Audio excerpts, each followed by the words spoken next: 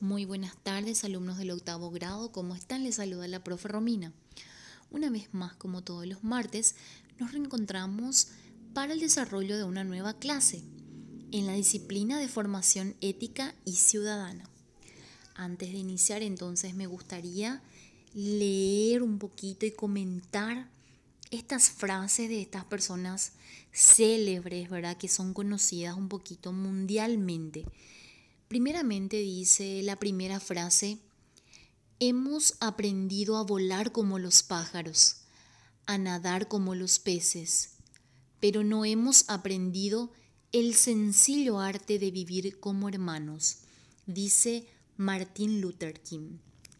Este personaje fue un religioso estadounidense que obtuvo el Premio Nobel de la Paz eh, él fue uno de los principales líderes del movimiento para la defensa de los derechos fundamentales y fue un importante, eh, vamos a decir, valedor de la resistencia no violenta ante la discriminación racial.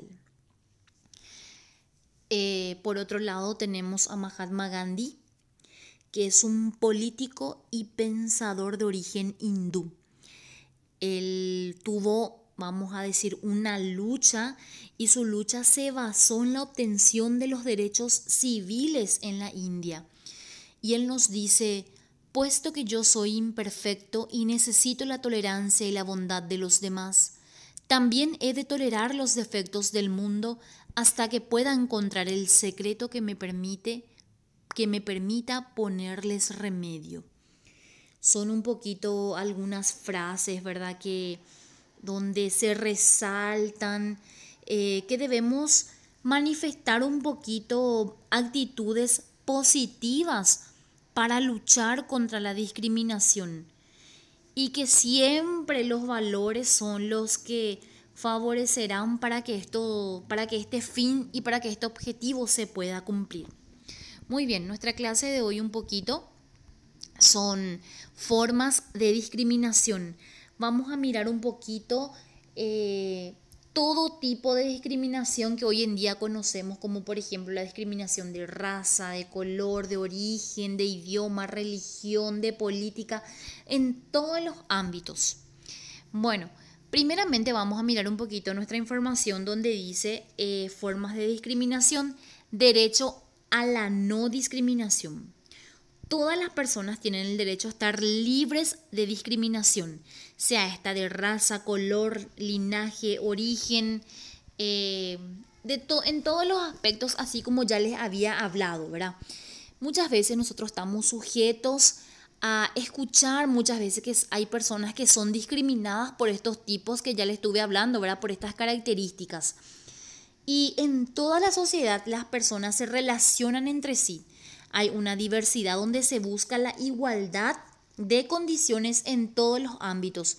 Es importante un poquito destacar aquí que todos nosotros queremos el bien común y que por sobre todas las cosas nadie es mejor ni debe creerse superior a otra persona. ¿Qué es lo que es la discriminación? Consiste un poquito en la acción de separar, rechazar o dar un trato de inferioridad a las personas.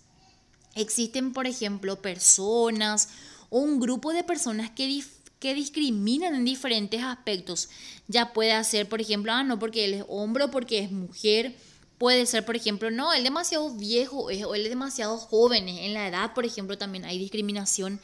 En la religión, la verdad que yo no quiero juntarme con ella porque ella es luego testigo de Jehová o porque es de otra religión, ¿verdad? Eh, tampoco no me gusta juntarme con ella porque ella es, tiene la piel oscura, ¿verdad?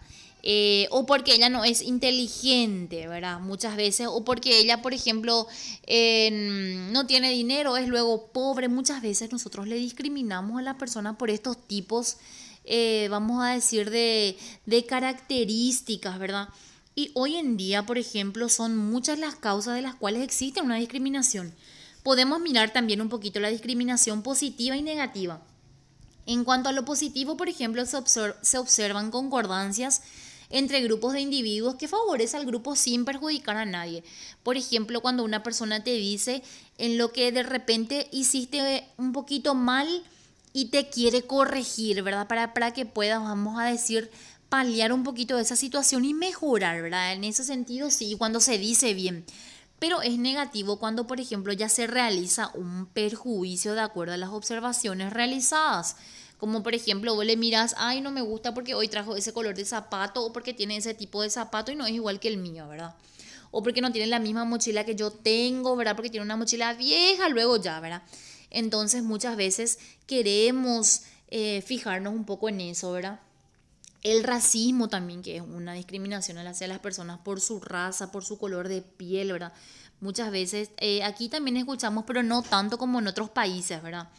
También un poquito el origen nacional, ¿verdad? Que existe la xenofobia y el odio hacia el extranjero. Ay, no, porque él viene de otro lugar luego, ¿verdad? El origen étnico también muchas veces las personas que son, vamos a decir, indígenas, como nosotros le conocemos aquí, somos, queremos discriminar a esas personas, ¿verdad? El idioma, ay, no más guarango, ya es ella, o más guaranga, ya es. O también, como les dije, en la religión, en el sentido de que no porque no es católico, porque no profesa la misma religión que yo profeso, entonces le discrimino nomás, ¿verdad? Y hay una indiferencia con esa persona, ¿verdad? Las opiniones políticas también un poquito eh, y la afiliación de un partido o movimiento político. Ustedes saben que yo soy de familia colorada, dice una, ¿verdad? Y hay otro compañerito que es de familia liberal y ahí ya empieza ya a haber una controversia y vamos a decir un poquito así, eh, discriminación entre ellos. No porque los liberales no sirven luego y no porque mi papá dice tal cosa. Entonces ya hay un poquito aquí esa discriminación y ese enfrentamiento mismo entre los compañeritos por, los, por el color, ¿verdad? También por la posición económica, así como ya les había dicho, ¿verdad? Aquí, por ejemplo, hay personas que sí están en un buen, tienen un buen bienestar social, sin embargo, otras personas no, ¿verdad? Y por eso también muchas veces queremos hacerle de menos a las personas, ¿verdad? También existen otras formas de, discriminación, como por ejemplo la edad, ¿verdad? Eh, por ejemplo, los niños que no tienen permitido realizar ciertas actividades, ni de emitir su opinión, no porque vos sos un niño, vos no podés hablar o no podés decir. ¿Verdad? O porque sos muy joven, ¿verdad? O porque sos muy anciano, ¿verdad? También por el sexo, ¿verdad? Una persona también es un factor de discriminación en el sentido de que algunas sociedades predomina la creencia de superioridad del hombre ante la mujer. El hombre siempre es el que tiene que, vamos a decir, poner orden en la casa. El hombre es el que, el que siempre debe tener la última palabra y cosas así. Es también un poquito forma de discriminación, ¿verdad? También miramos un poquito la orientación sexual. Muchas veces nosotros estamos eh, sujetos a todo tipo de sociedad y a todo tipo de recriminaciones en el sentido un poquito de que eh, la discriminación se observa tanto en hombres como también en las mujeres. Y los actos discriminatorios suelen ser muchas veces porque hay menos oportunidad de trabajo, ¿verdad? Eh, maltratos verbales, físicos, dificultad para acceder a la custodia de sus hijos en caso de divorcio, ¿verdad? Tiene mucho que ver un poquito aquí eso, ¿verdad? Y la identidad de género, de género también, que vamos a decir por la supuesta superioridad de uno de los dos géneros, el masculino o el femenino, ¿verdad? Eh, hace el, el, término género hace alusión a los roles que cada uno desempeña, por ejemplo, tanto en su, en su responsabilidad, en sus funciones, en sus derechos, por ejemplo, ¿verdad? Eh, también, por ejemplo, se da cuando en cuanto a los derechos humanos en las leyes de igualdad entre el hombre y la mujer, pero en realidad se le niega siempre ese derecho de participar en la política. De esto viene ya desde hace muchos años, ¿verdad? Cuando la mujer no tenía, vamos a decir, esa potestad para poder un poquito tener voz y voto, ¿verdad? Pero con el correr de los tiempos, con las manifestaciones que se realizó, entonces la mujer ya tuvo una aceptación y ya era, vamos a decir, también ya era parte de, de de opinar un poquito, ¿verdad? De tener también decisiones ya eh, para el país. Estado civil también, ¿verdad? Por ejemplo, muchas veces, ah, no porque es soltera o madre soltera, ¿verdad? O no porque es casado, ah, no, es concubinado, había sido, es separado, es divorciado. Por eso muchas veces también hay esa discriminación. Y la filiación. La filiación de una persona depende de las condiciones en las que ha nacido si ha sido reconocido por sus padres o no. Muchas veces decimos, un apellido nomás tiene. seguramente su papá no le reconoció, ¿verdad? Y por eso ya le queremos discriminar al compañerito o compañerita y eso no debe haber de ninguna manera, tiene que haber ningún tipo de discriminación. El estado de salud, la discapacidad, por ejemplo, muchas veces tenemos también nosotros, más porque somos un, colegio donde eh, somos inclusivos, ¿verdad? Donde hay una educación inclusiva y donde debemos aceptarle a todos, ¿verdad? Diferentes tipos de niños, de jóvenes, ¿verdad?